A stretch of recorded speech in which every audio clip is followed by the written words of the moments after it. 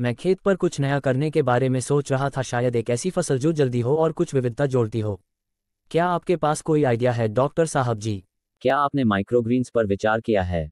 Microgreens अनाज, सब्ज़ी, जड़ी बूटियों के बीज से तैयार होने वाली मुलायम पत्तियों को कहते हैं। इनकी औसतन लंबाई दो से चार इंच होती है और एक से दो सप्ताह में तैयार हो जाता है।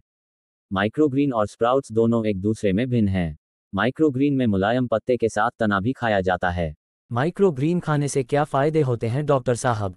माइक्रोग्रीन में सामान्य फ़सलों की तुलना में 40 गुना अधिक पौष्टिक तत्व पाए जाते हैं। शोध के अनुसार ब्रोकली माइक्रोग्रीन में सल्फोराफेन की अधिक मात्रा होने के कारण कैंसर जैसी बड़ी बीमारी की रोकथाम के लिए लाभदायक है। माइक्रोग्रीन वज़न को नियंत्रित कर मानसिक व शारीरिक रूप से स्वस्थ रहने में सहायता करते हैं। माइक्रोग्रीन में भरपूर मात्रा में विटामिन ए सी ई के और एंटीऑक्सीडेंट पाए जाते हैं। दिलचस्प लगता है लेकिन माइक्रोग्रीन्स क्यों? आजकल माइक्रोग्रीन्स बेबी ग्रीन्स को सुपरफूड के रूप में उगाया जाता है। जैसा कि मैं आपको बताया ये पौष्टिक तत्वों व एंटीऑक्सीडेंट के प्रमुख स्रोत हैं। इसे उगाने के लिए कम जगह की आवश्यकता एवं किसानों की आय बढ़ाने का अच्छा विकल्प हो सकता है। क्या उन्हें विकसित करना कठिन है? मैं सामान्य फ़सलों का आदि हूँ। बिल्कुल नहीं। वास्तव में माइक्रोग्रीन्स उगाने में सबसे आसान फ़सलों में से एक है। वे ट्रे या कंटेनर में पनपते हैं और आप उन्हें घर के अंदर या बाहर उगा सकते हैं। वे उन किसानों के लिए बिल्कुल उपयुक्त हैं जो कठिन कठिन काम करने की बजाय विविधता लाना चाहते हैं। माइक्रोग्रीन्स को ग्रोइंग मीडियम में उगाया जाता है और इनका सिर्फ़ मिट्टी के ऊपर वाला भाग ही खाया जाता है, जबकि स्प्राउट्स को बिना किसी ग्रोइंग मीडिया के उगाया जाता है और सभी अंकुरित भाग खाए जाते हैं। माइक्रोग्रीन को उगाने के लिए कम देखभाल, धूप, पानी, रोशनी और खाद की ज़रूरत पड़ती है। माइक्रोग्रीन्स खेती के क्या फ़ायदे हैं? डॉक्टर साहब जी। कीट व बीमारी से नुकसान एवं वर्षा या सूखे से फ़सलें बर्बाद हो सकती है जबकि माइक्रोग्रीन जल्दी तैयार हो जाते हैं और इनमें नुकसान भी कम होता है। किसी कारणवश यदि यह खराब हो जाए तो कुछ ही दिनों में दोबारा उगाना संभव है। माइक्रोग्रीन में सारे पौष्टिक तत्व पाए जाते हैं इसे कम लागत में उगाकर आय बढ़ा सकते हैं। डॉक्टर साहब जी माइक्रोग्रीन उगाने के लिए हमें क्या क्या संसाधन चाहिए? ग्रोइंग कंटेनर माइक्रोग्रीन को चौड़े कंटेनर प्लास्टिक ग्रोइंग ट्रे जिसमें जल निकास के लिए छिद्र हो उगा सकते हैं। ग्रोइंग मीडियम, माइक्रोग्रीन लगाने के लिए मिट्टी में जैविक खाद और रेत डालकर मिश्रण प्रयोग में लाएँ। मिट्टी के अलावा कोकोपिट, वर्गीक्यूलाइट व परलाइट मिश्रण प्रयोग में लाया जाता है। बीज, माइक्रोग्रीन्स के उच्च उत्पादन के लिए जैविक बीजों का उपयोग करना बेहतर रहता है। स्प्रे बोतल या कैन, बीजाई के बाद मिट्टी में नमी बनाए रखने के लिए पानी का छिड़काव स्प्रे बोतल से करना चाहिए। गार्डनिंग चाकू या कैंची, माइक्रोग्रीन्स को काटने के लिए तेज ब्लेड या चाकू या गार्डनिंग कैंची की आवश्यकता होती है।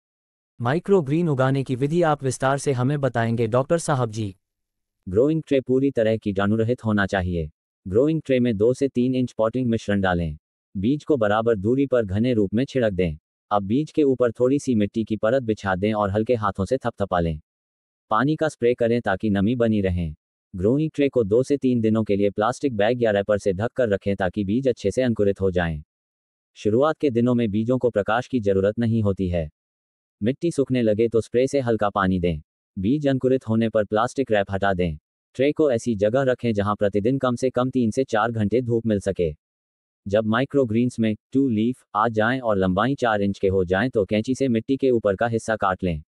माइक्रोग्रीन्स को तैयार होने में एक से दो हफ़्ते का समय लगता है। माइक्रोग्रीन सूप सलाद सैंडविच में प्रयोग कर सकते हैं। लेकिन क्या लोग उन्हें खरीदेंगे? क्या वे मांग में हैं? डॉक्टर साहब जी बिल्कुल माइक्रोग्रीन्स की मांग बढ़ रही है, खासकर स्वास्थ्य के प्रति जागरूक उपभोक्ताओं और शेफों के बीच। रेस्तरां अक्सर अपने व्यंजनों को बेहतर बनाने के लिए इन ताज़ा जीवंत साग सब्जियों के लिए प्रीमियम का भुगतान करते हैं। स्थिरता के बारे में क्या? मैं अपनी कृषि पद्धतियों को अधिक पर्यावरण अनुकूल बनाने का प्रयास कर रहा हूँ। माइक्रोग्रीन्स एक स्थायी विकल्प है। परिपक्व पौधों की तुलना में इन्हें कम पानी और जगह की आवश्यकता होती है। आप न्यूनतम पर्यावरणीय प्रभाव के साथ अधिकतम उत्पादन कर रहे हैं। ठीक है। आपने मुझे आश्वस्त कर लिया है, डॉक्टर साहब। मैं कैसे शुरू करूँ? कोई विशेष किस्म जो आप सुझाएँगे?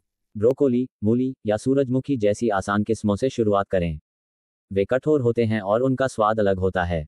जैसे ही आपको इसकी समझ आ जाए, आप मटर के अंकुर या चुकंदर के साग जैसे अन्य के साथ प्रयोग कर सकते हैं। कोई ध्यान रखने योग्य बातें हैं, आप बताना चाहेंगे, डॉक्टर साहब? माइक्रोग्रीन काटने के बाद दो दिनों के भीतर प्रयोग कर लें, अन्यथा पोषक तत्व कम होने लगता है और कड़वापन आ जाता है। माइक्रोग्रीन को पानी में डालकर फ्रिज में रखने से एक हफ़्ते तक इस्तेमाल कर सकते हैं। इस पर मेरी आँखें खोलने के लिए धन्यवाद डॉक्टर साहब। यहाँ खेत में माइक्रोग्रीन से भरपूर भविष्य है। मुझे यकीन है कि आपके माइक्रोग्रीन्स फलेंगे फूलेंगे और पोषण और आर्थिक लाभ दोनों लाएँगे। कृषि से संबंधित जानकारी बढ़ाने के लिए कृषि ज्ञान चैनल देखते रहें।